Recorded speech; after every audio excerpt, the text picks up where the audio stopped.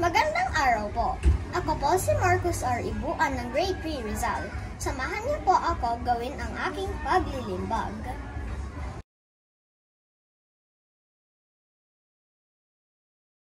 You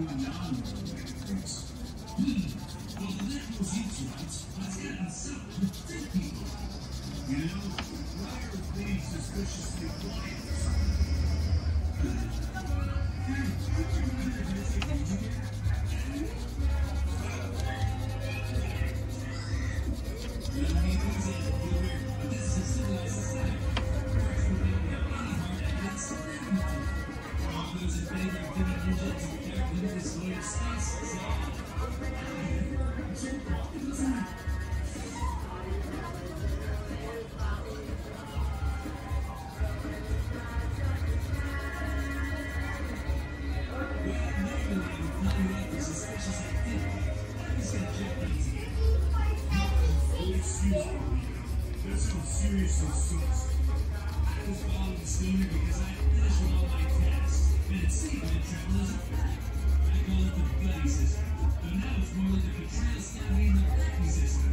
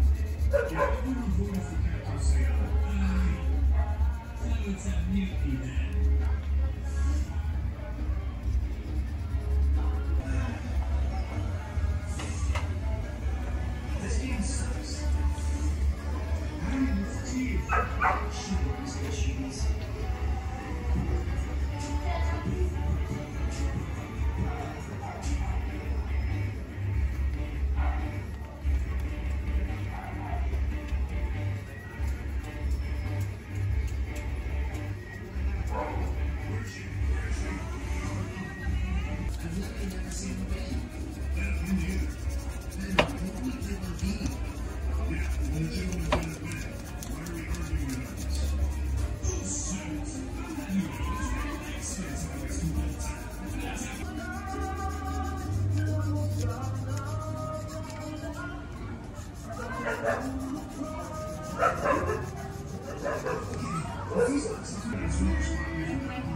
می‌خوام